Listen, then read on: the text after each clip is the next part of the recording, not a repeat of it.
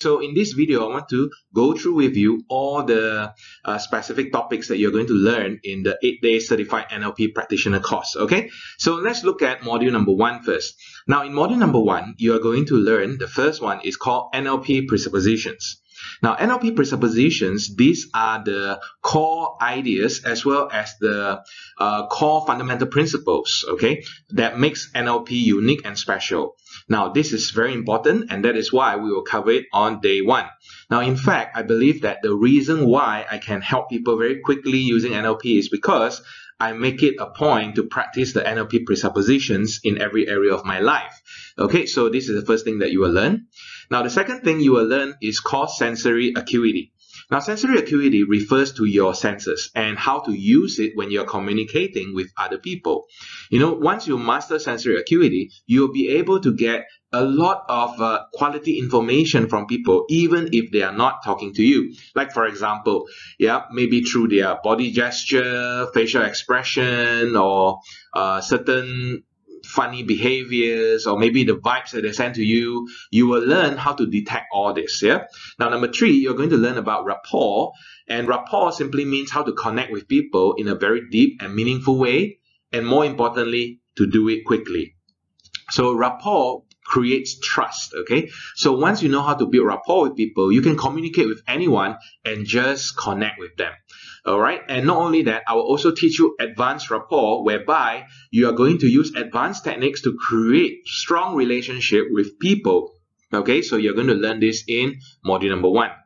Okay. Next, if you want to influence people, if you want to help people to change their mind, then pacing and leading is the topic.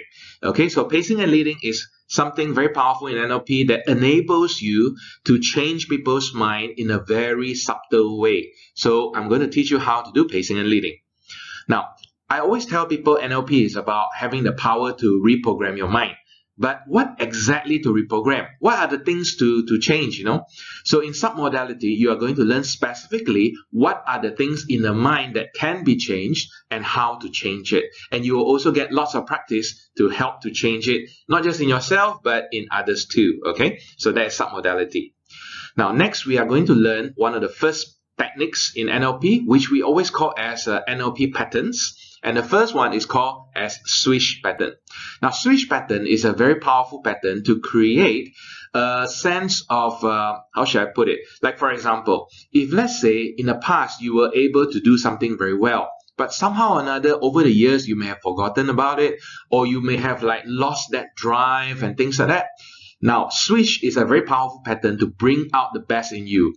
Okay, so swish is the technique that helps you to recall the best quality in you. Now you're going to learn how to do swish. Okay, so next we move on to another very important technique in NLP, which is called anchoring. Now, anchoring is all about setting a trigger for a specific behavior that you want to have. Like, for example, if let's say you want to have courage, so you can specifically create a courage anchor on yourself, and when you need it, activate it, and you can get that behavior that you want anytime. Okay, so that is anchor. And finally, in module number one, you are going to also learn about state management. In other words, it is all about managing your own emotions, okay? How to be in control of your own emotion and to feel the feelings that you want to when you want to. And when you learn about state management, you will also have the tools that will help you to help others manage their emotions as well. All right, so that is the good stuff in module number one. Next, let's look at the following week, which is module number two. Now in module number two, we are going to start off by going into an advanced and a very powerful anchoring technique. Okay, so in module one, we learn about the basics of anchoring. In module number two, we are going to do one very powerful anchor, which is called Circle of Excellence. Now, Circle of Excellence, as the name suggests, means that you are going to tap into your inner excellence and you're going to anchor it so that you can have it anytime you want.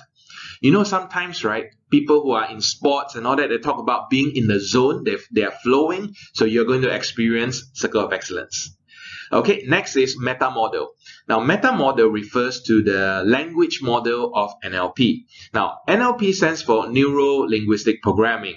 Linguistic means language. So you are going to learn how to use language in a very artistic way, or should I say a very elegant way to help people to or to influence them more effectively. So that is meta model here.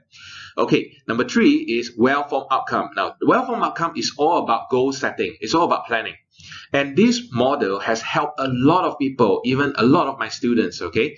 Uh, like, give you an example. Some of my students, after doing the well-formed outcome, they went on and start several businesses, they lost weight, okay? And then they hit their sales targets. So well-formed outcome is a very powerful way because it teaches you how to set good quality and inspiring goals. Okay, number four, we are going to look at phobia cure, which will also be used to help people overcome traumatic memories. You know, sometimes people may have certain things that cause phobia in them. And, you know, uh, traditionally people say you will need a long time in order to overcome the phobia. But in NLP, we do it very fast. That's why we learn the phobia cure. Okay, so I've helped people to overcome phobia of heights, phobia of flying, uh, phobia of, would you believe it, birds even. okay, and there was one lady whereby she was actually, uh, she was robbed in KL, and because of that, she had got fear walking at night. She also become free after doing one session of phobia cure. I'll teach you how to do it. Okay, next we look at another language pattern of NLP, which is NLP frames and reframing. Okay, now this is one of my favorite because once you master frames and reframing, you can just say one sentence and the person's mind will change like that. Okay, that is how powerful NLP frames and reframing is. So I'm going to teach you how to do the frames and how to reframe it. And then also, okay, you are going to practice to do it on each other in the class. Okay, now next, uh, six-step reframing you know some people they have got uh, bad habits that sabotage their own success okay? And usually it is because of some i would say uh, some inner conflict that they have. So six step reframing allows you or helps you to go into your subconscious and talk to your unconscious mind and begin to work with your unconscious mind to solve problems okay? So that is the six step reframing and uh, you're going to learn this. And finally on module number two we are going to learn a very powerful model. In fact, some people say maybe one of the most powerful models of communication, which is called Milton model. Now, Milton model is named after Dr. Milton Erickson, one of the world's most famous hypnotherapists from the 20th century. Now, you're going to learn specifically how he uses language to hypnotize people in a very, very subtle way. Okay, so you're going to learn all of these powerful things in module number two. Now let's go to module number three. Now in module number three, you're going to learn how to hypnotize yourself.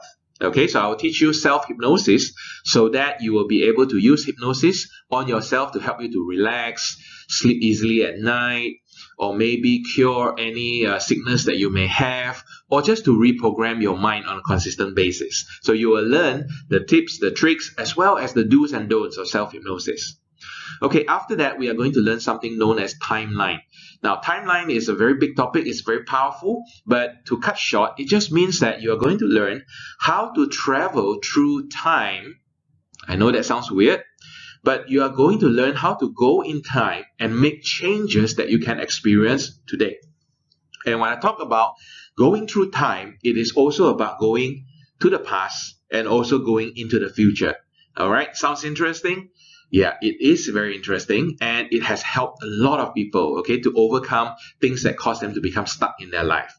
And after you have done that, I want to teach you a technique that I'm going that I created, which is called releasing limiting beliefs. Now, this is a technique that I'll be presenting at the International NLP Conference in London in May this year. Okay, so I'm the one who created it, and uh, it's my pleasure to be sharing that with you. Now, this technique is all about if you have any beliefs that are holding you back you will be able to use this technique to release it and to reprogram it, replace it with powerful new beliefs. New beliefs that is going to help you to achieve the goals that you want.